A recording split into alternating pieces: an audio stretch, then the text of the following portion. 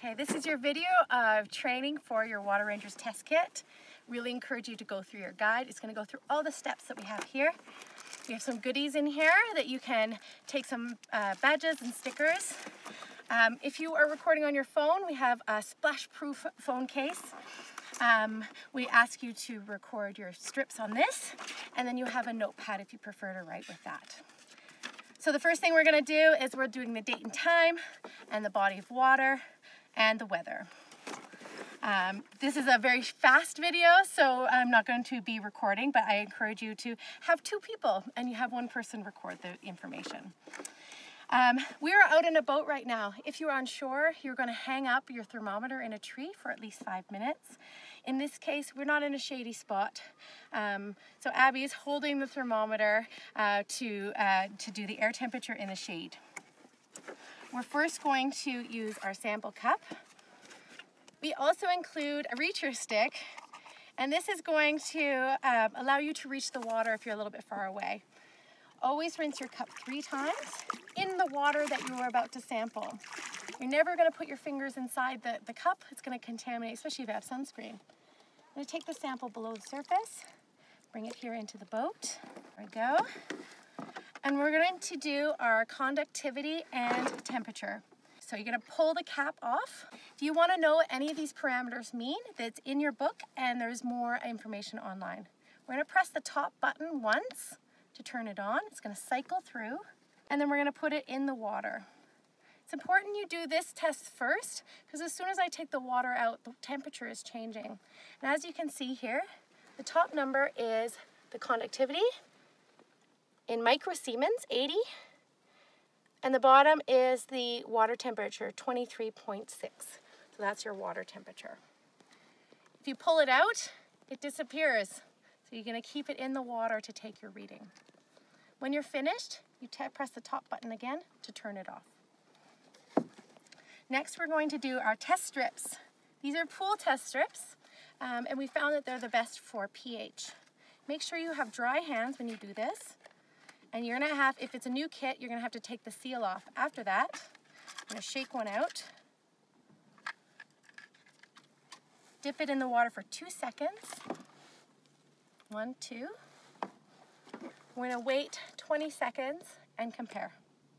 When we compare, we hold it vertically here, and we compare by moving our strip along to compare the colors. If it's partway between two values, we take the absolute center. So between um, 6.8 and 7.2 would be 7. Always make sure you don't have your sunglasses on when you, when you record these tests because color tests are really uh, very important. If you're participating in one of our studies, you'll find this reference card. All you do to participate is lay your test strip on there and take a photo um, and add it to your observation when you publish it online. That's it. We have a little container here where you can dispose of your used test strips and you can mail them back to us for recycling. Next, we're going to do your Secchi depth reading. This is a measure of water clarity. And there's a little nubby thing you can pull off here. Again, we don't want to be wearing sunglasses. We want to let this roll straight down until we can't see it anymore. If you're finding that it's not going down straight, just sort of move it along until it drops down. It's got a weight on it. So that moment where you're about to find out what it is, this is the important moment. I'm gonna raise it and lower it. So I can see it, I can't see it. Always sunglasses off.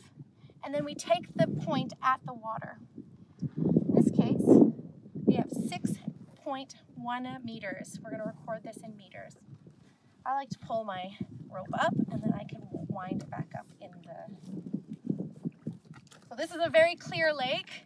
Um, every lake has its own normal values and it changes over season. So it's a really important test. And then we're going to do dissolved oxygen. This is important that you keep it in the shade. So we're gonna open it up. We have our sample cup. You're gonna take one of the ampoules out of here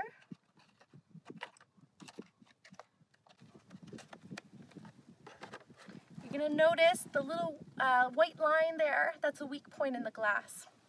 When I do this test, I'm gonna go below the surface I'm gonna try and do this fast because as soon as it comes up, it's exposed to the air.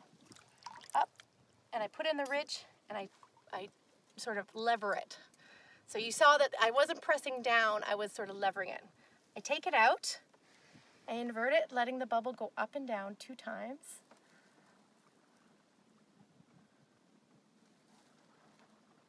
And then I set my two minute timer. Now, while that's developing, I'm gonna deal with this. The little tip is still in here, so you're gonna wanna pour this out very slowly. And there's some little Whirl-Pak bags in your kit that you can put your, um, your, your used um, ampoules and the little tips that are in there. So while it's, it's um, recording, I like to record all my information. Um, and then you can see that it has all the information that we recorded. On the back of each sheet, there's also space for your notes. Done. Okay, so here we have our comparison chart. I always like to take it out. I find it much easier to compare that way. To pull, take it out, you pull from the top. Okay, and then to put it back in, I'm gonna put it underneath a little nub and press down. So it is a little bit of a pull, but it's um, good. So then, the important thing with this is that you take your time to record this because it can be quite difficult to compare.